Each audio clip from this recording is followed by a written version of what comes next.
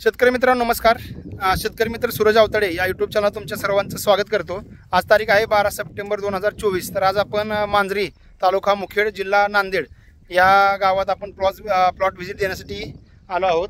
तर इथं plot visit दिल्यानंतर इथं एक पाच सहा जणांचा शेतकऱ्याचा ग्रुप आहे ज्यांनी आंब्याची लागवड केली आहे. तर लागवड केल्यानंतर आता त्यांचे पाहिजे झाले. लागवड करताना त्यांना अ, अपुरं ज्ञान असल्यामुळं आणि त्यांना माहिती देणारं कोण नव्हतं. तर तुम्ही आता समोर बघितलंय.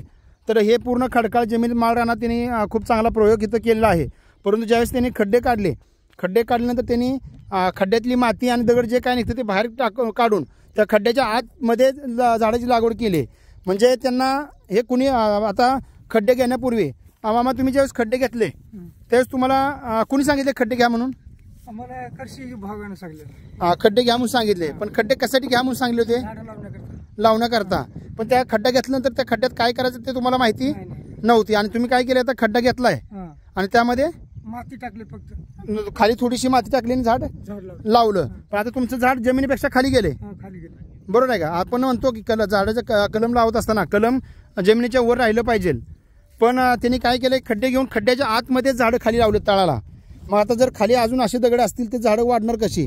म्हणजे ज्यांना माहिती नव्हते किंवा माहिती सांगणार इथं माणूस कोण इथं त्यांना नव्हतं. तर त्यांनी प्रयोग चांगला केला आहे पण त्या प्रयोगमध्ये बरेच अडथळे त्यांना इथं मला जाणवले की सकाळपासून आता मी मगाशी एक लाईव्ह केलं होतं ज्यामध्ये दाखवलं होतं. अक्षरशः आता मी गाडी तुम्हाला समोर दिसत असेल तर या ठिकाणी या ठिकाणी गाडी लावून आम्ही इकडं आलो. इकडं रस्ता पण नाही म्हटलं तरी चालेल. पायवाट आहे त्या पायवाटनं आम्ही इकडं प्लॉटला आलोय. तर प्लॉट लावताना बरेच माहिती नाही. तुम्हाला छाटणीची माहिती काय नाही. मग आज आता मला येऊन तासभर झालं. इथं. तुम्हाला काय काय माहिती मिळाली? माहिती चांगली मिळाली काय काय मिळाली? काय असं चांगलं रोग.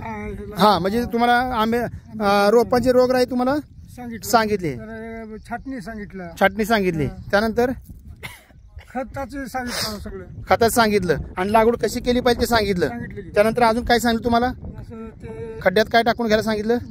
पाणी टाकाय म्हणून सांगितलेलं आहे एक लिटर ख- हा ते औषध सांग औषध सांगितलं. हा त्यानंतर? हे त्याचं आता मार्ग उसाचं पाचट. ऊसाचं पाच टाका म्हणून सांगितलेलं आहे. म्हणजे थंड वातावरण राहते म्हणून. राहत. आहे तर आता आपल्यासोबत अजून एक यु- युवक शेतकरी आहेत. तुम्हाला आता जी सकाळपासून माहिती मिळाली ती कशी वाटली? योग्य वाटली. बरं काय काय गोष्टी शिकायला मिळाल्या? किंवा तुम्हाला माहीत नसलेल्या गोष्टी काय काय मिळाल्या? छाटणी करण्याची माहिती भेटली. हा. परत खत कशी वापरावी ती माहिती भेटली. हा. अजून?